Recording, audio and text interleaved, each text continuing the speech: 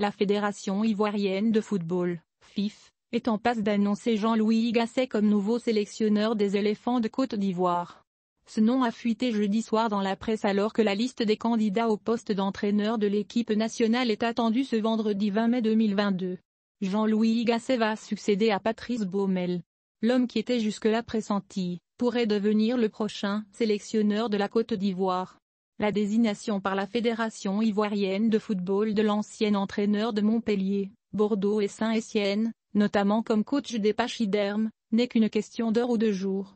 Élu en avril dernier, président de la Fédération ivoirienne de football, Idriss Diallo devrait arrêter son choix sur Jean-Louis Gasset.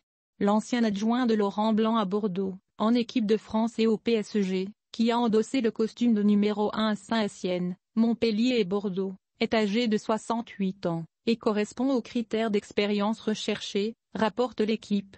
L'homme à la casquette, qui n'a plus entraîné depuis l'été dernier et son départ des Girondins, est en pôle position. Sa nomination est attendue pour vendredi, à 11h30, heure d'Abidjan, 13h30, heure de Paris. Pour le seconder, les dirigeants se tourneraient vers Merce Faye, 38 ans, ancien milieu de terrain de Nantes et de Nice, qui compte 44 sélections avec les éléphants. Technicien prometteur, dirige actuellement la réserve du Clermont Foot, en National 3, 9e sur 14. À moins d'un retournement de situation, poursuit notre source, c'est ce ticket Gasset qui tient la corde.